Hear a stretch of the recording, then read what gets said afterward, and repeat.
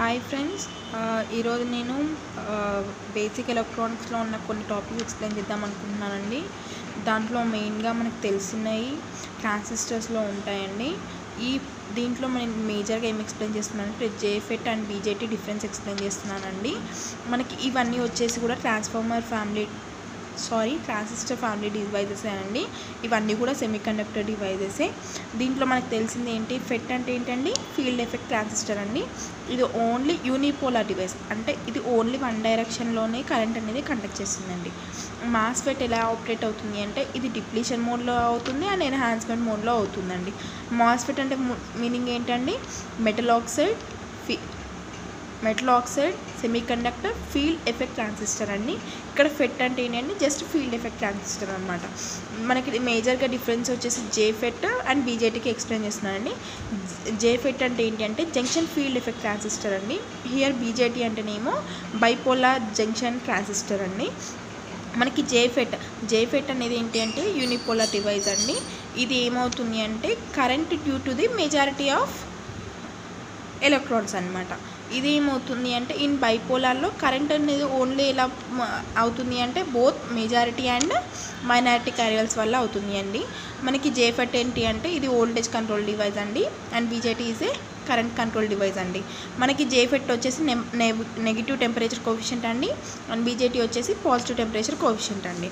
These are the basic difference of JFET and BJT మనకి దీంట్లో మనకి బేసిక్స్ ఏమేమి గుర్తుపెట్టుకోవాలి అంటే ఫెట్ జే ఫెట్ అనేది ఎప్పుడైనా యూనిపోలార్ అండి and BJT is a bipolar అండి.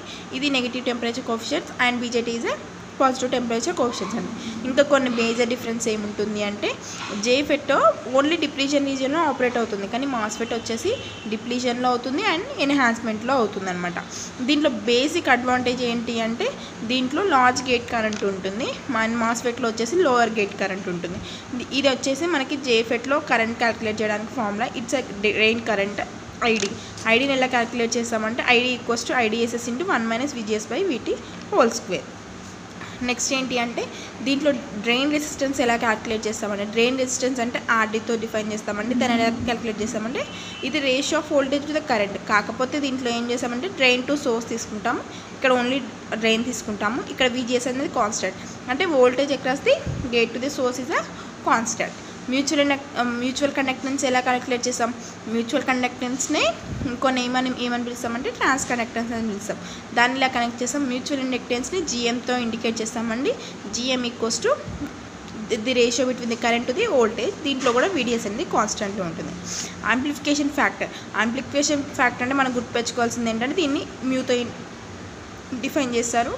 ఇది కూడా ఆంప్లిఫికేషన్ ఫ్యాక్టర్లో ఓన్లీ వోల్టేజ్ ఉంటుందండి. ఐడి అనేది కాన్స్టెంట్గా ఉంటుంది. సో వీడిఎస్ బై విజిఎస్ అనమాట ఆంప్లిఫికేషన్ ఫ్యాక్టర్ మనకి మామూలుగా తెలిసిందంటే మ్యూ కోస్ట్ జిఎంఆర్టీ జిఎం అంటే ఏంటి అండి?